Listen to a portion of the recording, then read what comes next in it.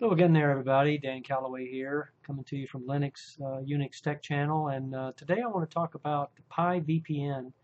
I've got this up and running now on my uh, Raspberry Pi Model 3B Plus uh, which I have uh, done a couple of videos on previously. So if you watch those, if you haven't watched them, go back and look at those and if you have watched them you'll know what I'm talking about.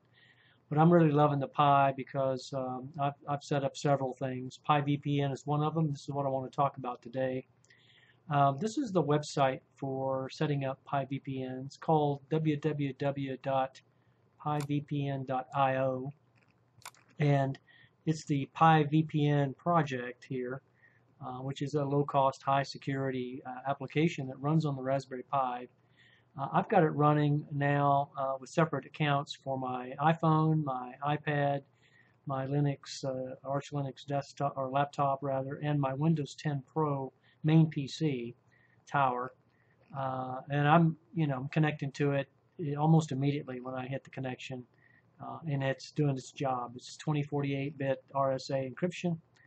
Um, and stays rock solid connected until I either drop the Wi-Fi leave the area of the Wi-Fi or shut down the uh, VPN um, intentionally. In order to, uh, you, you, well, you need to go up on this website and read about uh, this. If you have a Raspberry Pi, visit this website. I'll put the link down in the bottom there of uh, the video. Um, take a look at it and uh, install it, and I think you'll be very happy with it. I was paying uh, 7 euros, which is equivalent to about 8 50 or more in US dollars per month uh, for AirVPN, which is out of the UK. Now, it's a great VPN, don't get me wrong. Does things that the Pi VPN doesn't, like hide your IP. Um, and it can make you look like you're in another country when you're not. Uh, I don't really need that. All I need is to have a tunnel of secure traffic uh, going from my device, my mobile device, out to the internet and back. Um, and it does, it is reachable outside the, uh, the LAN. I can go out, you know, to an internet cafe, airport, library, connect to it on the device as well. Uh, because I've opened up the router with a port forwarding rule to get back to the Pi at the IP address of the Pi to actually connect to my Pi VPN OpenVPN service. It is OpenVPN. There is one command that you need to run uh, once you get into your Pi, which is running Raspbian OS for my in my case, which is a, a variation of uh, Debian Linux.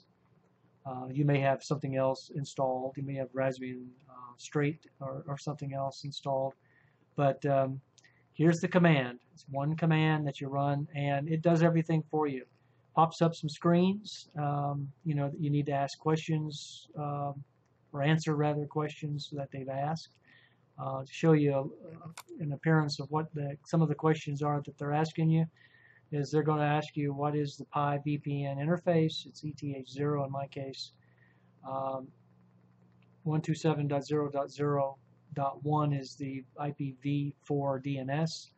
The IP address of my Pi is 192.168.1.95 uh, and then the gateway is 192.168.1.1 which is my router. All of these are pop-ups by the way, you don't have to fill anything out. Uh, what you're looking at here is a um, link to a file that's under Etsy uh, PiVPN uh, that I am showing you here. Uh, the protocol that you use for your Pi is UDP. Do not use TCP. You can use TCP, but it's going to slow it down. You don't need TCP for, for VPN. All you need is UDP, which is User Datagram Protocol. You don't need the Transmission Control Protocol, Internet Protocol. The port here that I selected was the default port 1194. Uh, it is uh, recommended that you change that port number for security, and later on I may do that. For now, I just left it at 1194.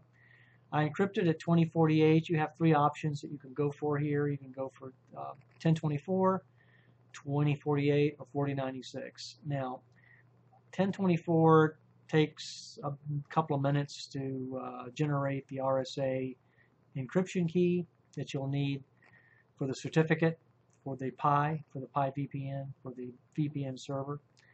Um, if you run 2048, and I've got a internal solid state drive, 2048 took a while to generate. It took over 30 minutes to generate this key. If you want to generate a 4096 key to be absolutely sure that you're protected, go for it, but expect to take several hours to generate that key, even with an extremely fast machine, which I have. Um, here are some of the other questions that are asked, like landlocal.asuscomm.com is the public uh, DNS that I'm using for the dynamic DNS service. Um, so that my IP address on the WAN side for the internet that's uh, supplied by my ISP, if that gets changed, then uh, the Pi VPN is going to follow it. The router is going to follow it actually, and then it will let the Pi know uh, that has changed, and then uh, I don't lose VPN that way. Uh, here's the DNS for DNS1 and DNS2. These are two Google DNSs. Uh, I elected to use the Google DNS here in this case. And then um, here's the file that I was referring to. It's EDC out on Raspbian 3B Plus, which is the host name of my Pi. All right, so let's go ahead and close that.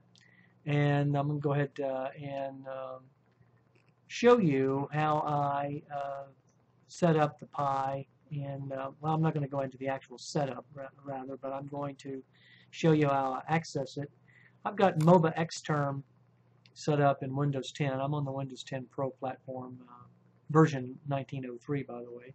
Very good. Uh, if you haven't upgraded yet, that yet, go ahead and do that.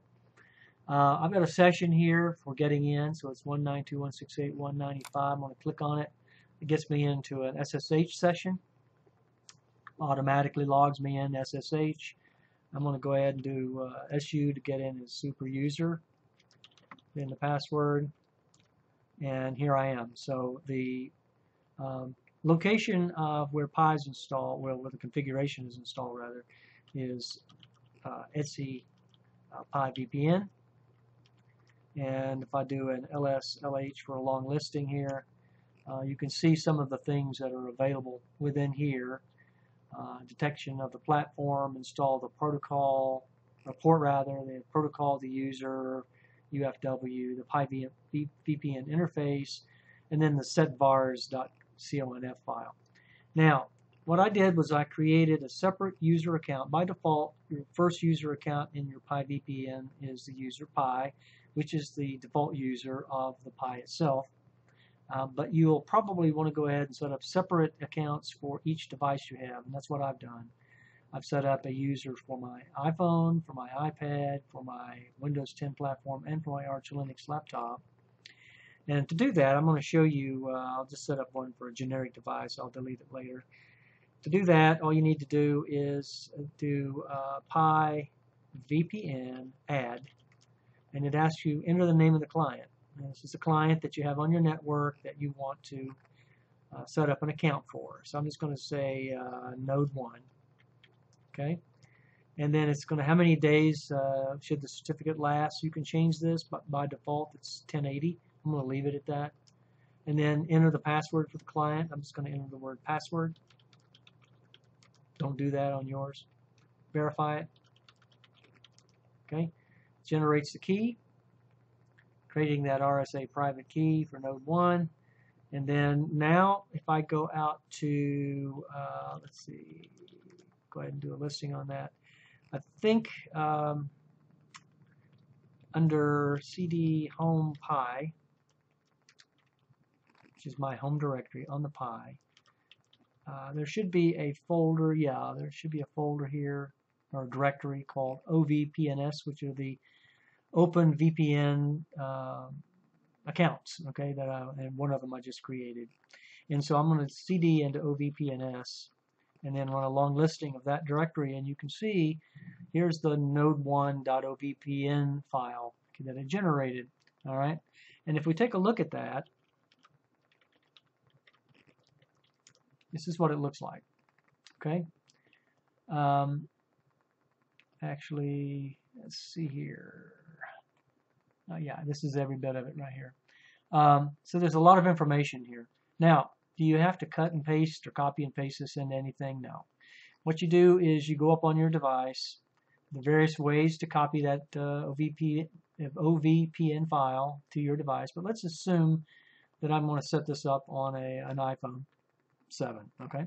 What I, what I can do, I've got a personal cloud. I could uh, send it up to the personal cloud and get on the uh, iPhone and bring it down. I could do it that way. Another way of doing it on the iPhone, very slick, is if you've got a an Outlook account, you can email the OVPN to your email account at Outlook, and then get on your Mail app on the iPhone, which is connected to your Outlook account by default. You can set up different ones, uh, but uh, by default it's an Outlook account. And then once you have that, you can uh, go up on the app in the um, App Store for iPhone, and then you can download the OpenVPN app, set that up, very easy to do, and then go back onto your email, go into the attachment where you uploaded the uh, OVPN for Node 1, for instance, to your Outlook account. Click on it, and it's going to say, how do you want to open it? Just slide over the thing and slide to your OpenVPN app. Click on that, and it'll come up and say there is one file to import. Click Add to import. It'll say it's imported successfully. And then when you do that, uh, it'll ask you for a password. You put the password in, and then it's imported into your OpenVPN app. And then you can go ahead and run it from that. Okay, I'm going to show you how I did that for Windows 10 Pro. I'm going to go ahead and minimize this now. Um, and what I did was I've got the OpenVPN app installed here in Windows 10. I don't know if I have a shortcut. Yeah, there it is, out on the desktop. And you don't have to open that to get in here. And I've already imported that, okay? So what I did was, uh, you go here to the uh, system tray area, click the up arrow, there's the icon for OpenVPN GUI, all right, in Windows 10 Pro version 1903. All I need to do is right click on it, select the Win 10 Pro account that I created, the same way I created the Node 1 account, and go over and select Connect. Now, it comes up and asks me for a password, so I put the password in, hit OK, and if it's the correct password, it'll connect me, and when the window closes, I'm connected. It's very fast. All right, and so to confirm that I'm connected, you don't see it here, and the reason you don't see it here with a little padlock is because OpenVPN GUI runs separate from this area down here. What you have to do is open up this area, and you can see it's green. It was uh, blank and behind. Uh, but if you pass your pointer over it, you can see where it says OpenVPN GUI connected to Win10 Pro, connected since 5:31/2019 at 3:31 p.m., which is uh, what it is right now. And then you can see that there's an IP address that's been assigned, and that's 10.8.0.3. Okay, so I am connected to VPN right now, and uh, I have used this to get on various sites that uh, you know I'm, I do not feel very comfortable getting on without a VPN, so that they can look at my traffic or track me or whatever. Uh, and it's working just great. And uh, I've got Comodo Internet Security Premium 12. It doesn't interfere with that at all. Um, Comodo's happy with it. So this is a, uh, an easy thing to implement, an easy thing to put forward here in either Windows or Mac. I don't have a Mac, but you can do it. Um, or Linux. I've got it on the Arch Linux laptop and uh, Apple devices. I've got it both on the iPhone and my iPad with their own accounts, and it works great.